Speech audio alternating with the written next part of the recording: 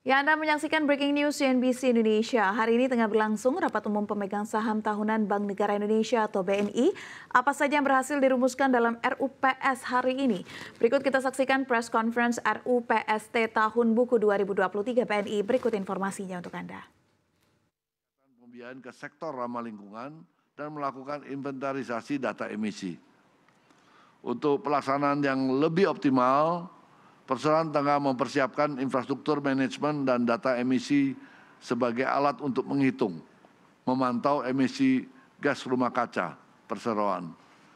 Keberhasilan BNI dalam mempertahankan rating A dari MSCI merupakan salah satu bukti komitmen BNI untuk terus meningkatkan implementasi ESG dalam seluruh aspek operasional bank. Selanjutnya, RUPS tahunan BNI menyetujui perubahan pengurus, RUPS tahunan menyetujui perberhentian perberhentian dengan hormat Bapak Susianto selaku Komisaris BNI dan juga menyetujui mengangkat Bapak Yusuf Permana sebagai Komisaris.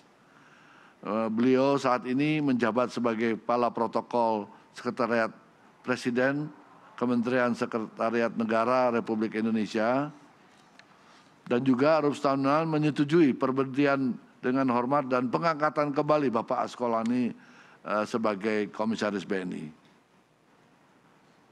RUPS tahunan juga menyetujui perberhentian dengan hormat Ibu Adi Sulistiawati sebagai Wakil Direktur Utama, juga uh, mengalihkan penugasan Bapak Putrama Wahyu Setiawan sebagai Wakil Direktur Utama BNI yang sebelumnya Direktur Retail Banking BNI dan ada pengalian tugas juga Ibu Korina uh, Lela Karnalis dari Direktur Retail Banking uh, eh, menjadi Direktur Retail Banking dari sebelumnya Direktur Digital and Integrated Transaction Banking.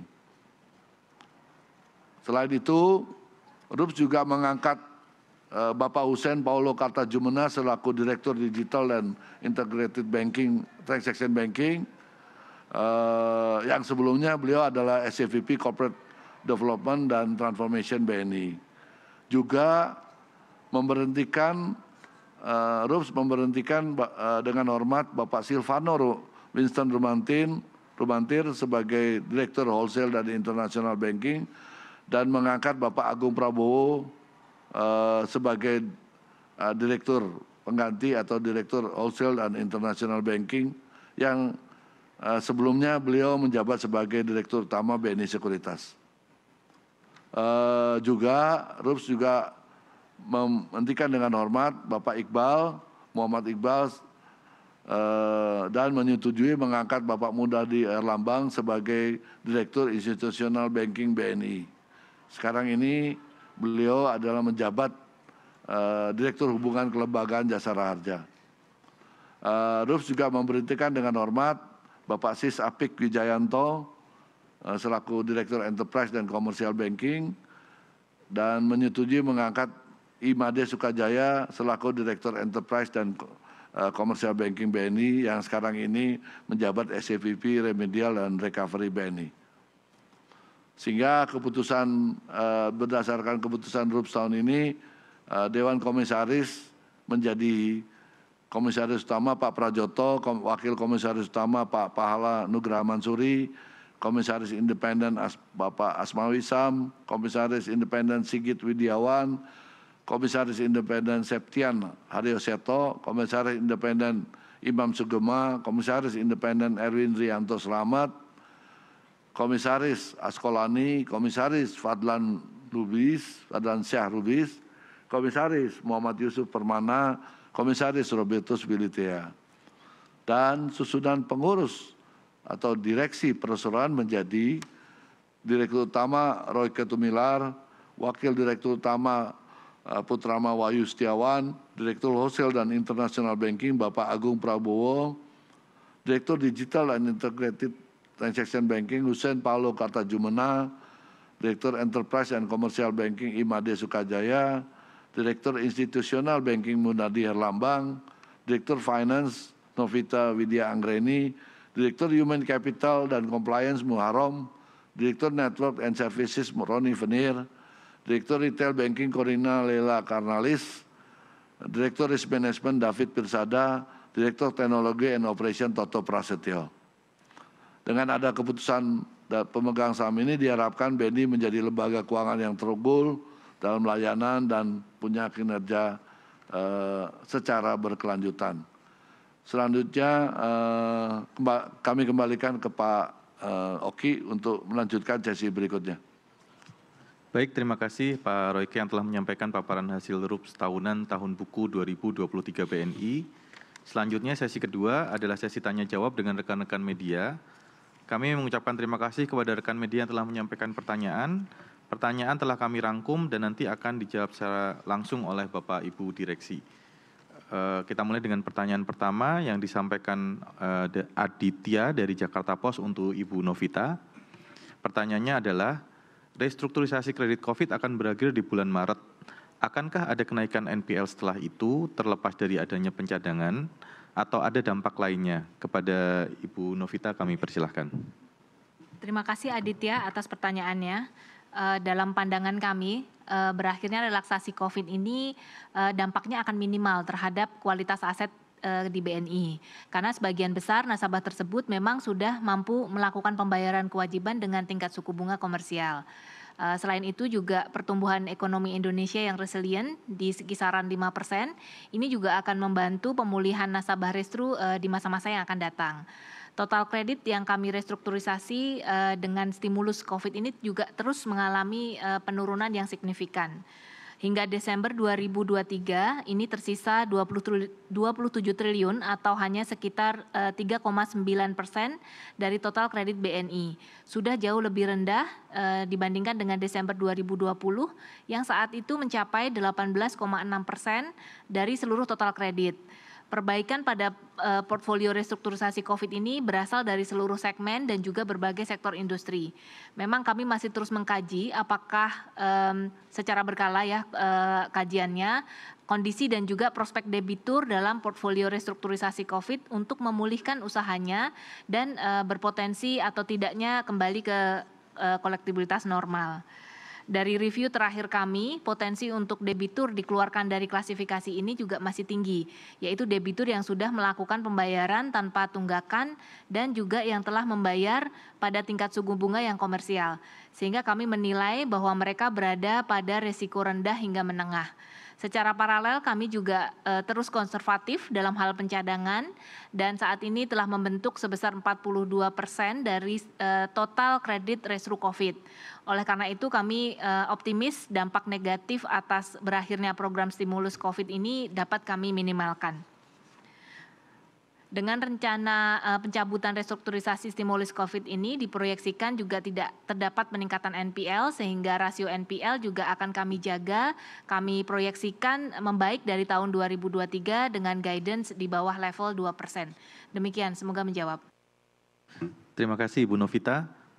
Uh, kami lanjutkan pertanyaan kedua berasal dari Fatia dari Bloomberg, kembali ditujukan untuk Ibu Novita. Pertanyaannya adalah, dengan naiknya dividen payout ratio dari tahun lalu, apakah BNI sudah mempertimbangkan dampaknya terhadap ekspansi ke depan? Adakah rencana eksternal funding seperti bonds atau divestasi saham anak-anak perusahaan yang akan menambah fresh money perusahaan dalam mendanai ekspansi? Kepada Ibu Novita kami persilahkan. Terima kasih Fatia atas pertanyaannya. RUPS eh, tahun buku 2023 yang baru saja kami laksanakan telah menyetujui usulan perseroan eh, di mana ini meningkatkan rasio pembagian dividen eh, untuk tahun buku 2023 dari eh, sebelumnya eh, atau sebesar 50 persen eh, meningkat dari tahun sebelumnya yang berada di 40 persen. Dengan laba yang di buku tahun 2023 sebesar 20,9 triliun, maka dividen yang diberikan kepada pemegang saham uh, totalnya adalah 10,45 triliun. Uh, apabila dilakukan uh, per lembar sahamnya, ini jumlahnya 280,5 rupiah. Ini meningkat 43 persen. Uh, usulan untuk meningkatkan pembagian dividen tersebut juga telah kami pertimbangkan secara proporsional, baik itu kepentingan internal uh, internal bank, ini terutama ke, uh, terkait dengan kecukupan permodalan untuk melakukan ekspansi bisnis dan juga investasi digital, dan juga mempertimbangkan kepentingan para pemegang saham atau investor untuk mendapatkan imbal hasil investasi yang optimal.